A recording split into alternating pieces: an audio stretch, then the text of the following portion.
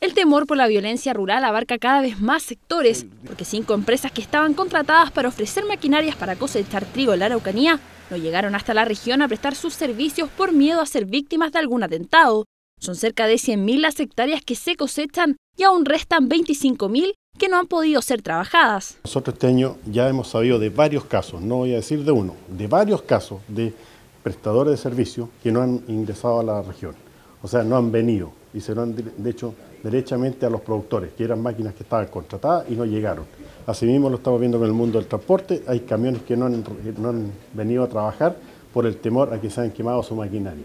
Durante esta jornada, el intendente de la Araucanía se reunió con agricultores de la región, además de autoridades de carabineros y CONAF, para conversar y coordinar con los agricultores de la zona de Mayeco el calendario de quemas planificado en la región, y así no exista preocupación ni afecta a los vecinos de la zona la emanación del monóxido de carbono. Para la región y ver cómo podemos eh, desarrollar el proceso de quemas agrícolas que son necesarias para el desarrollo de su actividad y de manera que la, comunidad se vea lo menos afectada posible desde el punto de vista del material particulado que, se, coloca en la, atmósfera.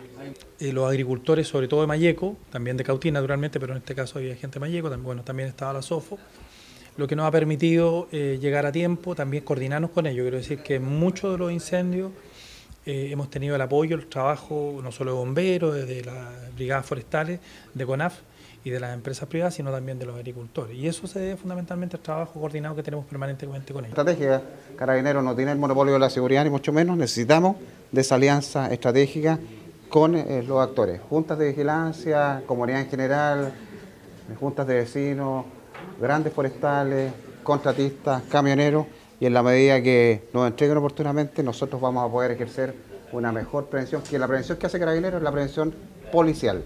Los agricultores que asistieron a esta reunión también manifestaron que existen nueve focos identificados en la zona de Mayeco que han sido intencionales. También han existido atentados en estas fechas que han mantenido preocupados a los agricultores, pero sí aseguran que Carabineros está actuando y eso les entrega mayor seguridad respecto al conflicto rural que se está viviendo en la Araucanía.